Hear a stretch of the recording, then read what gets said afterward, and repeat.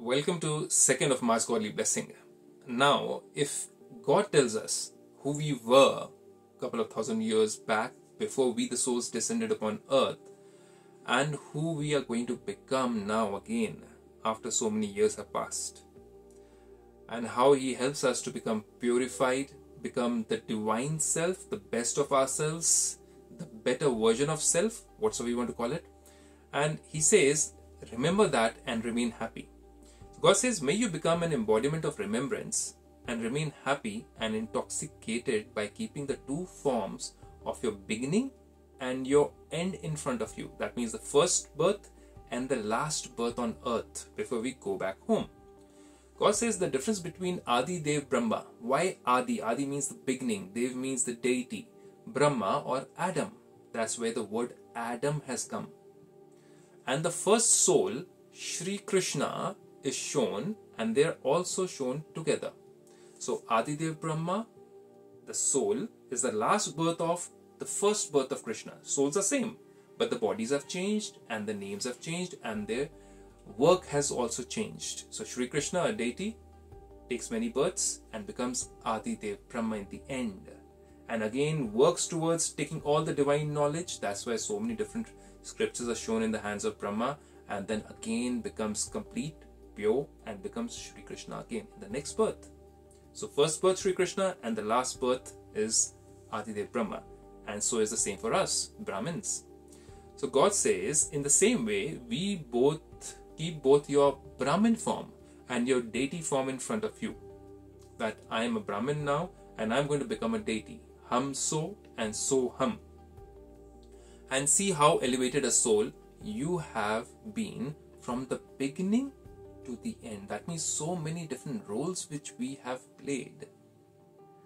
Remember those roles. You received your fortune of the kingdom for half the cycle. That means Golden Age and Silver Age, Satyug and Treta Yug. These two yugs, we remain in that yug where the rest of the souls of different religions were up there. You received your fortune of the kingdom for half the cycle, and then you were a respected and worthy of worship soul for half the cycle.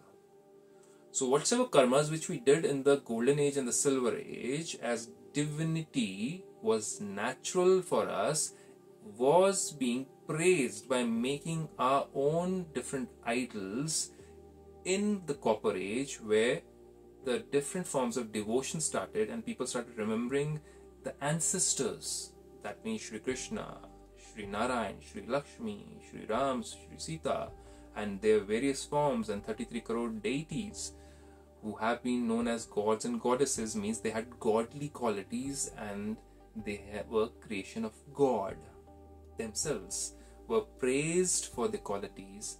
As God says, for half the cycle you remained as a god and goddess. And then when you fell, your past life was remembered in the form of idols, your previous births of purity were remembered in the form of idols when you became impure and you started praising and praying those idols yourself. That's where idol worship started. You received your fortune of the kingdom for half the cycle and then you were a respected and worthy of worship soul for half the cycle. By having this intoxication and happiness, you will become an embodiment of remembrance. That means, who made me like that? Who gave me so much of importance on this earth? Who helped me to play my part of a divine being in the beginning and then again becoming divine in the end after becoming impure? Who did that? And that makes it very simple for us to be in remembrance of the one who created us like that. And that's the divine energy, this divine power, Supreme Godfather Shiva. Not the Shankara, but the Shiva who's the point of divinity. And that's what we learn in Brahma Kumaris how to get connected to the infinite metaphysical form of God. That means the infinite energy, infinite power, infinite bliss, infinite love, infinite divinity and wisdom. And how to become the same as Him, as the Father, so the child, we souls, the creation. To know more about this, you are most welcome to attend a seven day session, one hour a day at Brahmakumari Center. Om Shanti with this.